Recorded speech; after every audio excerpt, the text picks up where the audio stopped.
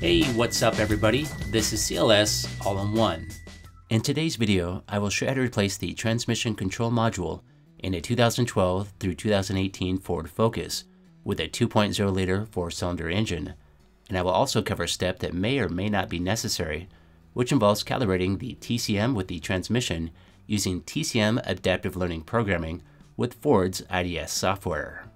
So to start with, I would recommend purchasing a TCM that has been pre-flashed with Ford Focus software, which will save you a lot of time and headaches. In some applications, you may be able to just purchase one of these TCMs and it might just work as it should after installing it.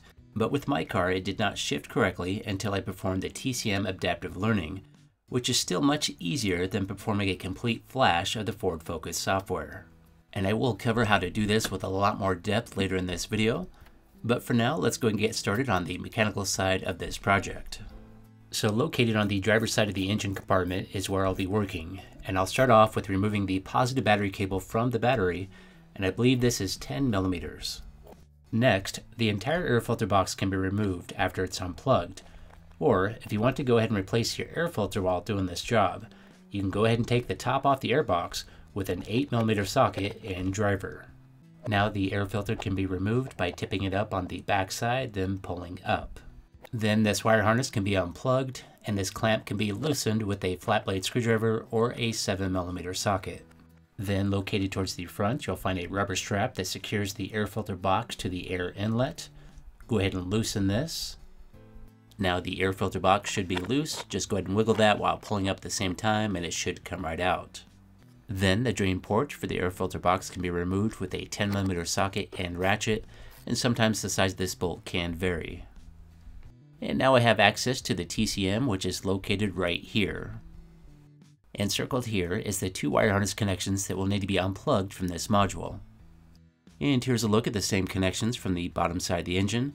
And because this car is very low to the ground, I did go ahead and park this on a set of ramps, so I can access the bottom of the engine as well which makes this job easier. Before unplugging these, there is a couple of spots where the wires will need to be pulled loose as shown here, highlighted with the arrows. And there's also some tubes at the bottom and top that will need pulled loose as well.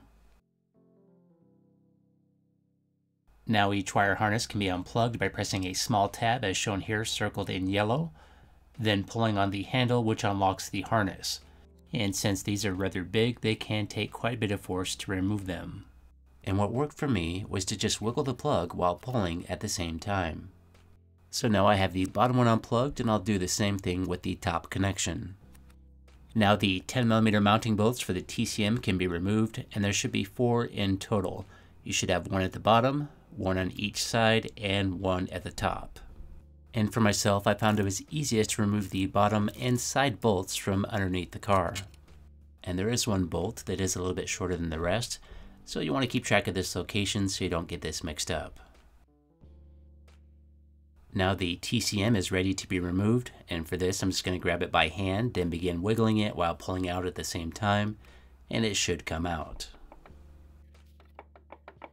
And once it's popped loose, I just need to finesse it out of there because it is kind of a tight fit. And when removing this, you'll want to make sure that both O-rings come off with the TCM. As you can see here, one of them is missing, so that means it's inside the hole. So I'm going to go ahead and grab that. Otherwise, that's going to give me some issues when I go to install the new TCM. And here's a look at the new one, which comes with new O-rings and has been pre-flashed with Ford Focus software. And before installing, I like to add just a small amount of grease to the gear and O-rings, which makes this install go a little easier. Now it's time to place the new TCM in position. So I will line it up with the holes, then begin wiggling and pushing it in place until it's flush. And this may take a few attempts to get this to line up properly. Once it's in position, I can then begin securing it with the four bolts and I'll start with hand tighten these first in a crisscross pattern, then begin torquing the bolts with about 10 foot-pounds of torque in a crisscross pattern as well. Then the two wire harness connections can be plugged back in, and these will need to be wiggled while pushing down and pulling the handle at the same time to get these to lock in place.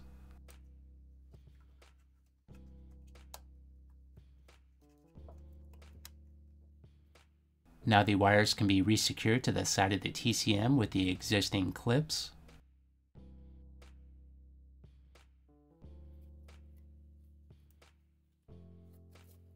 Then these tubes can be placed back in the holders at the bottom and top of the TCM.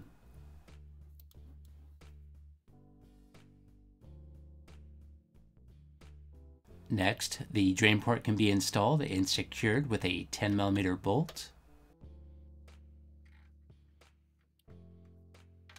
Then the bottom of the air filter box can be installed by placing it in position, then pushing down firmly.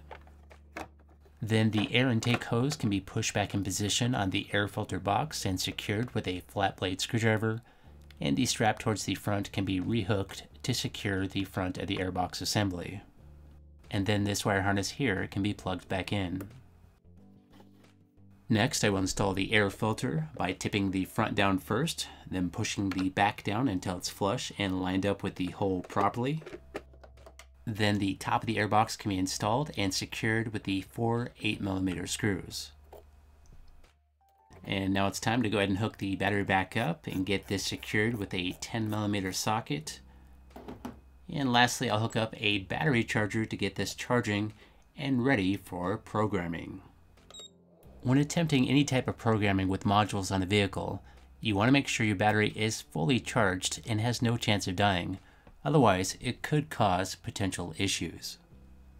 To perform the TCM adaptive learning with the Ford IDS program, a IDS-compatible OBD communication device is necessary, such as this VCX Nano, which plugs into your OBD port on your vehicle, and the other end of this has a USB cable that plugs into a host device which features the Ford IDS software. And for my host device, I'll be using a Windows laptop, which I just installed the Ford IDS software on. To obtain the IDS software, you can visit the Ford website using the links down below in the description. But to activate the software, you'll also have to buy a license, which is super annoying. But I believe you can also use the FJDS software as well, which is quite a bit cheaper. Or there's also a program called Forscan that can perform some of the same type of programming for a cheaper cost as well, but they are not supported by Ford. With all that being said, in this video I will only be covering the IDS software, but one more thing I would like to mention is that with the VCX Nano device I purchased, it also included a download to a special patch version of the IDS software with a free active license. But that's all I'm going to say about that. So to start with, I have my VCX Nano plugged into my car and hooked up to my laptop with the ignition in the on position. And I just started a new session, so I'll hit the checkbox now to continue. And now as long as everything's working correctly, it should establish a connection to the PCM.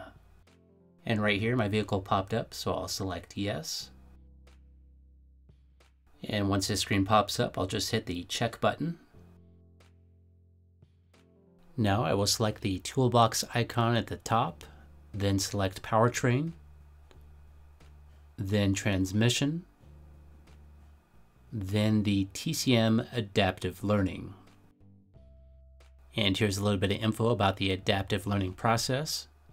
This function allows the TCM to learn new parameters after a component replacement, which must be performed as recommended in the service manual procedures. So we'll start off with the TR sensor, so we'll highlight that, then hit the check button. And just to let you know, this process will take a little bit longer in real time. I have sped this up just a little bit so it doesn't take so long. So we're going to start with the Perform Adaptive Learning. Select Yes. Make sure the transmission's in park. Now it's time to learn each position, so I'll click the Learn position then switch to reverse, click learn position again, then to neutral, and click the learn position, then do the same thing for drive, and low, which is going to be S on my car. Then after that's complete, I'll hit the check button at the bottom And right here you can confirm all the gears. So you can just manually switch through all the gears and it should read the same thing on the screen as what's going on in your car. Then after making sure all the gears are reading correctly, you can hit the check button at the bottom. Now it's asking me to turn the ignition off, so I'll go ahead and do that, then hit the check button. Then I'll wait for it to power down and get back to the menu. Now I will select the shift drum option, then hit the check mark, then turn the ignition back on, then hit the check mark again, and select yes. And now I need to make sure the transmission is in the parked position. Then I'll depress the brake pedal and hold and click to continue. And once that's complete, I'll click once more, then switch the ignition to the off position and click to continue. So basically after each step, there will be a power down involved, so this will take a little bit of time. Now I will select the next option, which is the clutch, and click yes to continue. Then switch the ignition back to the on position. Then make sure it's in park and press the brake pedal all the way down and hold it in position. Then click to continue. And at this point, it's going to perform a bunch of different tests, which involves revving your engine up and down. So this whole process is pretty easy to do. All you need to do is just keep following the on-screen prompts and you'll make it to the end. That is, as long as your TCM is working correctly. So I'm just about done at this point, I just got a few more tests to make it through. And unfortunately, this is the second TCM I purchased. The first one actually failed during these steps right here. But it looks like this one has passed, and it's good to go. And once all the adaptive learning is complete, I can hit the check button to continue, then switch the ignition to the off position, and wait for the TCM to power down once more.